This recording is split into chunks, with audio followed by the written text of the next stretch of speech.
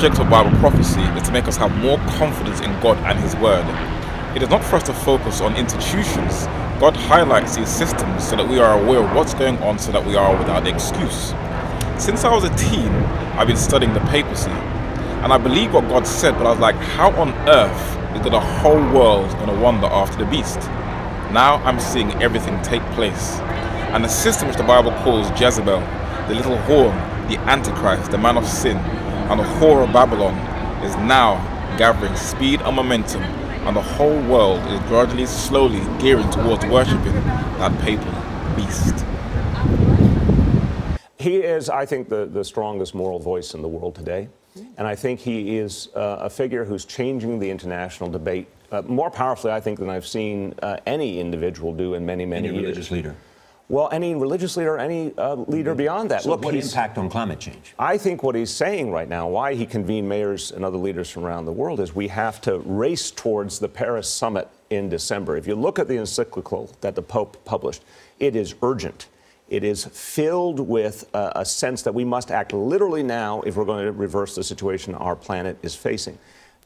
This mayor, among many other political figures around the world, has taken a directive from the Pope. But unfortunately, they do not see the wider picture. 25 years ago, that is a quarter of a century, one year after the fall of the Berlin Wall, a Catholic priest, the late Malachi Martin, published a book in the year 1990 which basically laid out the papacy's plan for world domination. It was titled The Keys of This Blood. Pope John Paul II versus Russia and the West for control of the New World Order, where it not only asks some key questions, but it also makes some very strong statements. Who will establish the first one world system of government that has ever existed in the Society of Nations? Who will hold and wield the dual power of authority and control over each one of us as individuals and over all of us together as a community? The competition is all out because now that it has started, there is no way it can be reversed or called off. No one can be exempted from its effects. No sector of our lives will remain untouched. As to the time factor involved, those of us who are under 70 will see at least the basic structures of the new world government installed. Those of us under 40 will surely live under its legislative, executive, and judiciary authority and control. What captures the unwavering attention of the secular leaders of the world in this remarkable network of the Roman Catholic Church is precisely the fact that it places at the personal disposal of the Pope a supranational, supercontinental, super trade bloc structure that is so built and oriented that if tomorrow or next week, by a sudden miracle, a one world government were established, the church wouldn't have to undergo any essential structural change in order to retain its dominant position and to further its global aims. So, what are its global aims? It says that men have no reliable hope of creating a viable and geopolitical system or a one world government unless it is on the basis of Roman Catholic Christianity. So the Vatican has openly declared her one ultimate objective to have the entire world at the seat of her feet. But how would she achieve that? By cleverly influencing world leaders to follow her lead on social issues. Monsignor Marcelo Sorondo is an Argentine Catholic bishop and the current Chancellor of the Pontifical Academy of Sciences and the Pontifical Academy of Social Sciences. He organized a workshop from the 2nd to the 6th of May 2014, and it included some of the top scientists in the world, many of them who are members of the Pontifical Academy of Sciences, who, though secular scientists, are using Catholic social teaching such as the common good to interpret how to make the world a better place. Costa Rican diplomat Christiana Figueres, who was appointed Executive Secretary of the United Nations Framework Convention on Climate Change on May 7, 2010, a day after the Vatican seminar, wrote in the London Guardian that faith leaders need to find their voice on climate change. She said it is time for faith groups and religious institutions to find their voice and set their moral compass on one of the great humanitarian issues of our time. A couple of days later, on May 9, 2014, representatives from the United Nations went to the Vatican to hear Pope Francis I give them a speech on helping the injustices of the needs of the poor peoples of this planet. Christiana Figueres tweeted that the United Nations and the Vatican should make people even more aware of climate change. To lay the groundwork for Pope Francis I's visit in September 2015, he had to condition the most influential minds and lay the groundwork first.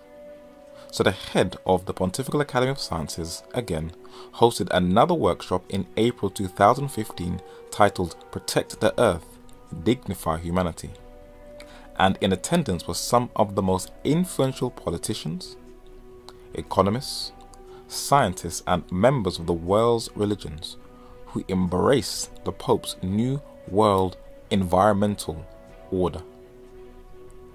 One month later, in May 2015, the Pope's encyclical Laudato Si was published.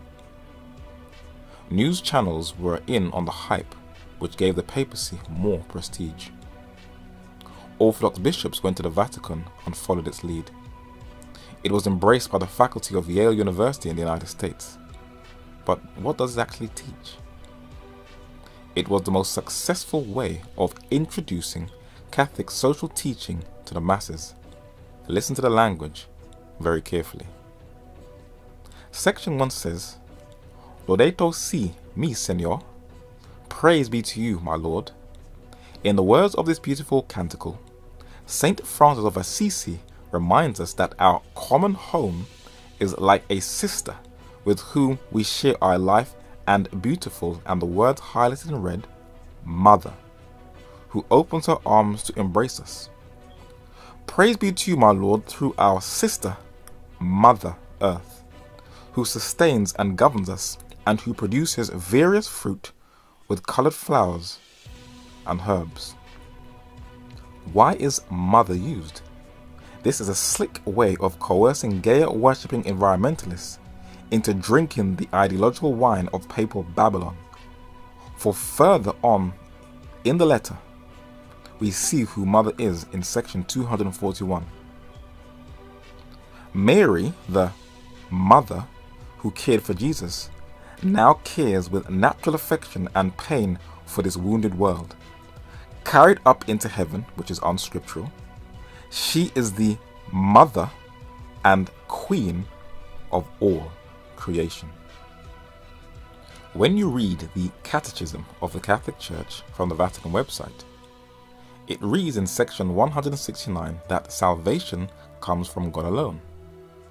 But because we receive the life of the faith through the church, she is our mother. We believe the church is the mother of our new birth and not in the church as if she were the author of salvation. Because she is our mother, she is also our teacher in the faith. Goodbye, Holy Spirit. In section 181, it reads The church is the mother of all believers. No one can have God as Father who does not have the church as mother. Didn't Jesus in John chapter 14 and verse 6 say, I am the way, the truth, and the life, and no man cometh unto the Father but by me? Obviously, Rome does not think so, but Catholic social teaching is having a stronger influence than you think. Naomi Klein is a famous social activist and a strong critic of social injustices. She was invited to the Vatican in June 2015 to discuss climate change. And once the Vatican can get the most influential figures to embrace her, she'll be unstoppable. The following month, in July 2015, 60 mayors were invited from all over the world to discuss climate change at the Vatican. And all the mayors said that they will do exactly what the Pope says.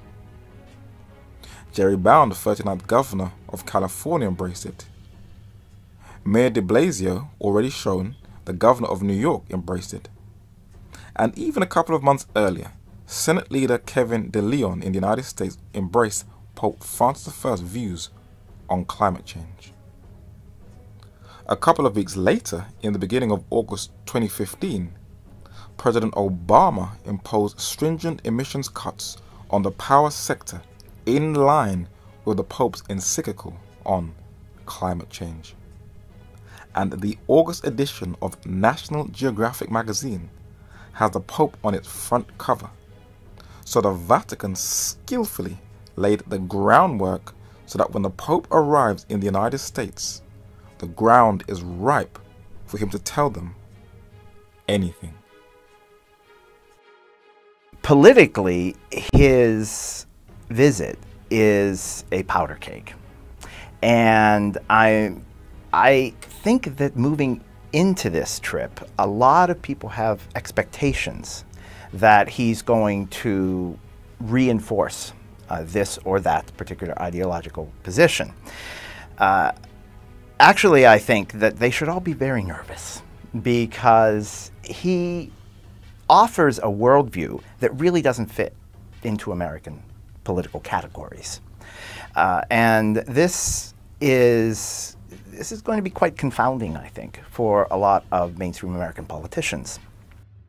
But how will those be viewed who oppose his visit? The London Guardian noted the history of anti Catholicism in America, not really giving a reason why. And at the end of the article, it reads that if some religious fanatics greet Francis with posters calling him the Antichrist and Babylon's whore, they will be on the fringe of the fringe, or you could say domestic terrorists.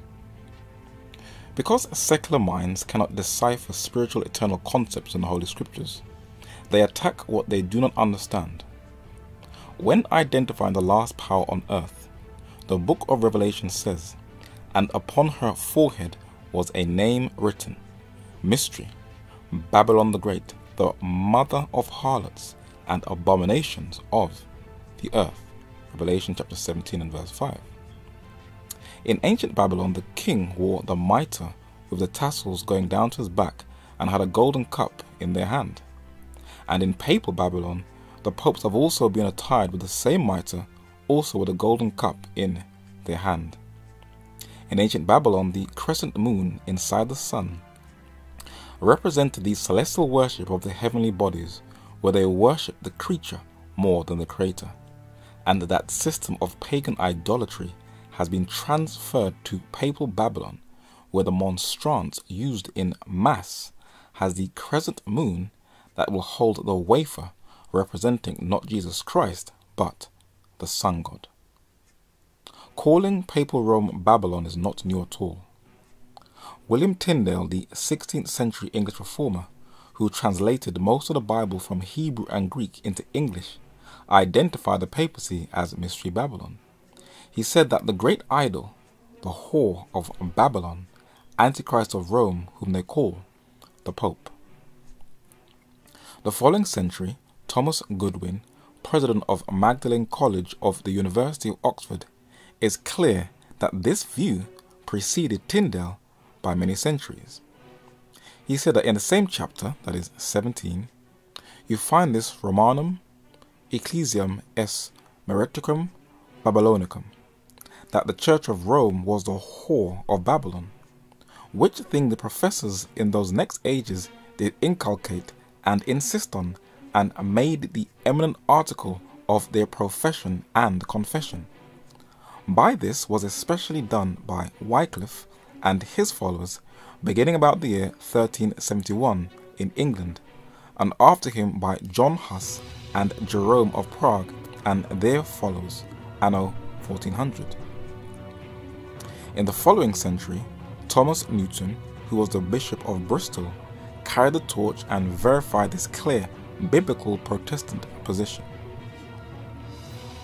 A woman sitting upon a beast is a lively and significant emblem of a church or city directing and governing an empire. The woman is arrayed or clothed too, verse 4, in purple and scarlet color, this being the color of the popes and cardinals.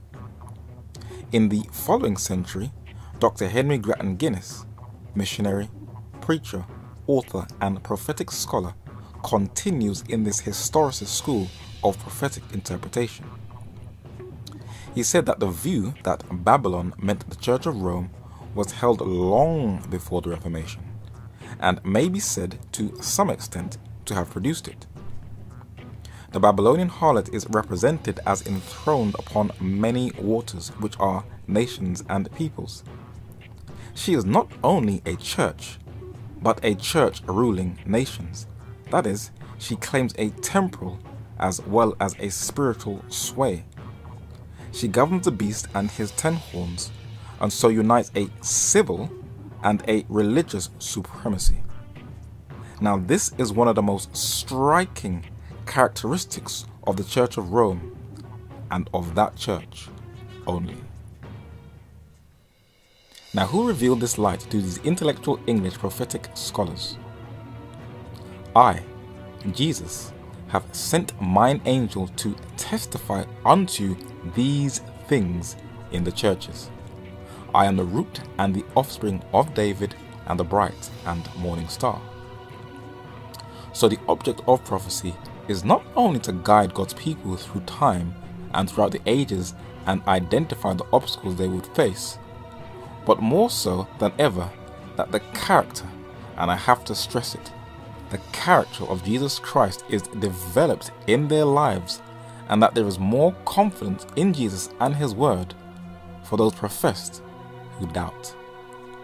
We have also a more sure word of prophecy, whereunto ye do well that ye take heed to it, for it is a light that shineth in a dark place until the day dawn and when it is embraced and acted upon and studied, the day star, who is Jesus Christ, the bright and morning star, will arise or manifest in your hearts or in your everyday life.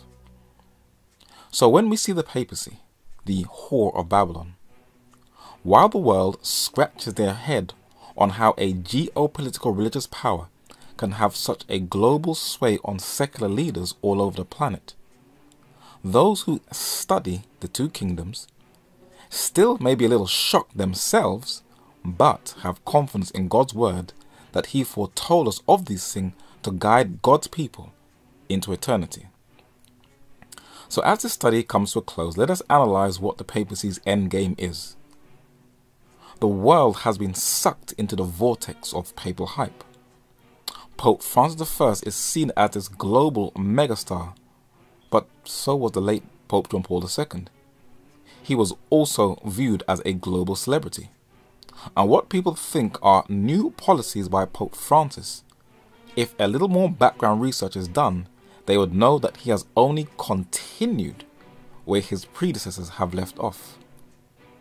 In this book, The Keys of This Blood, you will clearly see that what many view as new has been mapped out a quarter of a century ago. Already known for its long cooperation with the policies of Antonio Gramsci, the Pontifical Commission for Justice and Peace, in each of its local branches throughout the 4,000 dioceses of John Paul II Roman Catholic Church, and observe this language very carefully, consistently endorses the main themes of, listen, Soviet Marxist policy, the evils of capitalism in Western democracies, the call for a unilateral disarmament by the Western powers, the absolute need to establish a one world economic system based on the distribution of the riches, goods, and services of the capitalist world. This statement was 25 years ago by a Catholic priest. Let us see the movements of the current Pope. In Highgate Cemetery in North London in England are the buried remains of Karl Marx. And the very ideology that the papacy spent the Cold War fighting, Marxist communism, was now embraced by Rome, and Antonio Gramsci, an Italian Marxist, was to be the basis of the new satanically skillfully driven, deceptive papal policy. The Pope is asking for a redistribution of the world's wealth, in line with Gramsci's Marxism, just as the Keys of this Blood has said. But has any journalist, politician, or religious leader asked the Pope, will he distribute his own wealth? The Economist magazine says that the Catholic Church is as big as any company in America. Time magazine says the Vatican has big investments in banking, insurance, chemicals, steel construction, and real estate. A British director plans to do a film of the Vatican's deep connections with the mafia, which is probably its connections also to its narcotics money. The Vatican is very secretive about its economic holdings, and only through pressure has it released its financial report. She is rich, beyond rich, rich, rich, rich. Avro Manhattan, when researching the Vatican's wealth, documented that a Vatican official who, when asked to make a guess at the Vatican's wealth today, replied very tellingly, Only God knows. Who controls this wealth that Revelation chapter 17, verse 4 and chapter 18, verse 3 foretold us about? According to the Roman Catholic canon law, it reads that the Roman pontiff by virtue of governance, is the supreme administrator and steward of all ecclesiastical goods. Not the best person in the world to tell the planet to distribute wealth when you had the richest corporation on the entire planet. The Pope, as the Keys of this Blood says, slams the arm trade. It is true that the arms trade grows from strength to strength because war is a business. Lockheed Martin is to buy Sikorsky, maker of the Black Hawk helicopters, from rival United Technologies for $9 billion, that is 5.8 billion pounds, consolidating its position as the Pentagon's largest supplier. Since Iran has made a deal with the United States about nuclear weapons, International aviation companies, among them Boeing and Airbus, are likely to seek the Iranian government. BAE Systems, though British, is one of the largest arms or defense contractors in the world, who is one of the six largest suppliers to the United States Department of Defense. But who buys stocks in this company? According to the BBC, a Catholic bank in Germany invested 580,000 euros in BAE systems. Pope Francis I is pushing for a new world economic order and pushing for a global government, which the keys of this blood is unequivocally clear that she wants to be the only one who should control it. But for those who do a bit of research, you would see that Pope Francis I continues from his predecessors. There is nothing new about Pope Francis I's pontificate. Like Obama, he just does it with a smile while your freedoms are being chipped away each and every day. What is interesting is that the Vatican doesn't really hide what she planned to do. But what exactly is a New World Order? And what does it entail? If someone was to ask you, what would be your response? The principles of the world order that existed before 9 11 is the government of the people, by the people, and for the people. In other words, the right to privacy, freedom of speech, and freedom of the press, freedom of religion, and trial by jury, etc. And this phrase was adopted from the Reformation in the introduction of the John Wycliffe Bible of the 14th century, which read that this Bible is the government of the people, for the people, and by the people. In a book titled Roman Civil Liberty, James Aitken Wylie shows us what has given us our current world order. In 1380, Wycliffe published his translation of the Bible. The Reformation came preaching the true jus divinum when it taught the right of society to govern itself according to those eternal principles of justice, equity, and order which God has graven on the natural conscience. God alone, said the Reformers, is Lord of the conscience. That was the truth that made Europe free. But the Pope, in his meeting with the current president of Italy, Sergio Mattarella, thinks otherwise. According to the website of the Vatican Radio, Pope Francis I said, religion should not be confined to personal conscience. So, to have a new world order, you have to destroy all the freedoms that has been handed down from the Protestant Reformation based upon the Bible. And this is the only way Mystery Babylon, the papacy, can reign supreme. If you really want to know about the papacy, then you have to study the Bible. Not for head knowledge to debate and bash people over the head with, but for spiritual edification and to share with others that there is a God in heaven who has not abandoned his creation, but wants to commune with us throughout the ceaseless ages of eternity.